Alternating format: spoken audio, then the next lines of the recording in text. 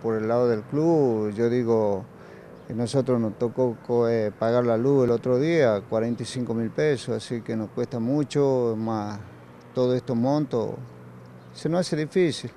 Y bueno, hay que seguir remando con ver hasta dónde. ¿Ustedes reciben algún apoyo del Estado a través de la Secretaría de Deportes? Nada, nada. Eh, nada hasta el momento, e inclusive a nivel nacional nos venían acreditando el 40% del tema de luz, todo eso con todos los papeles al día, pero tenemos todo aprobado, eh, las boletas a nivel nacional, pero ya dejaron, hace como cuatro meses dejaron ya de acreditarnos el 40%. ¿no? Porque no es solo fútbol, sino que, por ejemplo, Luján tiene otras disciplinas deportivas también.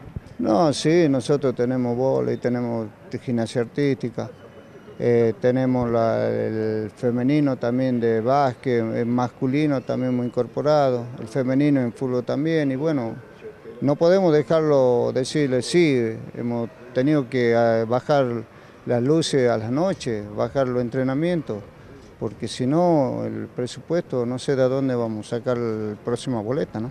¿Ustedes tienen conocimiento de la situación que está atravesando Belgrano? Bueno, como dirigente de la liga, seguro que sí.